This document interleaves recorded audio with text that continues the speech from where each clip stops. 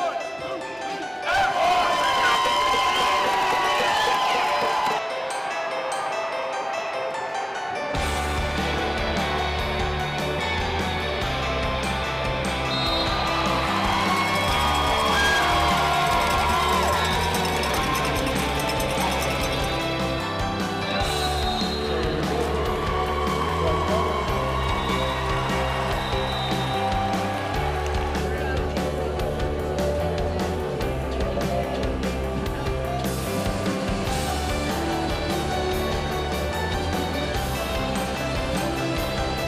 Attention on the shooting range.